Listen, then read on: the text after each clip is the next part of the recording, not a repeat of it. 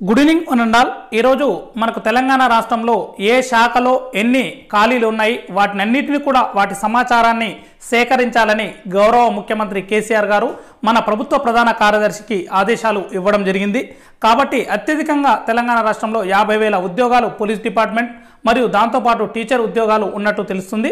ఏది ఏమైనా మనకు పోలీస్ డిపార్ట్మెంట్లో అత్యధికంగా అంటే దాదాపు ఒక పదిహేను వేల పోస్టులకు నోటిఫికేషన్ వచ్చే అవకాశం ఉంది కాబట్టి ఎవరైతే ప్రిపరేషన్ని కానిస్టేబుల్ ఎస్ ఎవరైతే ఎస్ఐ కానిస్టేబుల్ వైపు ప్రిపరేషన్ చేయాలి అనుకుంటున్నారో వారందరూ కూడా ప్రిపరేషన్ని కొనసాగించండి. దాదాపు నాకు తెలిసి పదిహేను వేల పైచులకు కానిస్టేబుల్లు ఉండే అవకాశం ఉంది. అదేవిధంగా మనకు కానిస్టేబుల్ నోటిఫికేషన్లో టెన్ పర్సెంట్ సబ్ ఇన్స్పెక్టర్ పోస్టులని ఫిలప్ చేయడం జరుగుతుందండి. ఎనీ నోటిఫికేషన్ ఏది వచ్చినా కూడా కానిస్టేబుల్లో మనకు ఒక వెయ్యి ఉద్యోగాలు కానిస్టేబుల్ ఉంటే దాంట్లో వంద ఉద్యోగాలని మనకు సబ్ ఇన్స్పెక్టర్ అనేది ఫిలప్ చేయడం జరుగుతుంది. కాబట్టి ఏదేమైనా మనకు దాదాపు ఒక పదిహేను వేల పైచులకు కానిస్టేబుల్ ఉద్యోగాలు ఉండే అవకాశం ఉంది కాబట్టి ఎవరైతే ప్రిపరేషన్ని కొనసాగించాలి నేను కానిస్టేబుల్ వైపు చదువుతున్నాను అనుకుంటున్నారో వారందరూ కూడా ప్రిపరేషన్ని ఇప్పటి నుంచే కంటిన్యూ చేయండి. కాబట్టి మనకు మూడు లేదా నాలుగు నెలల్లో మనకు నోటిఫికేషన్ వచ్చే అవకాశం ఉంది కాబట్టి అందరూ మీ యొక్క ప్రిపరేషన్ని కొనసాగించండి.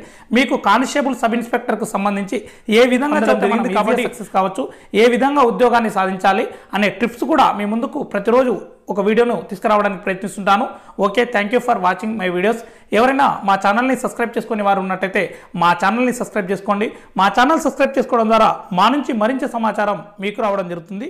Okay thank you for watching my videos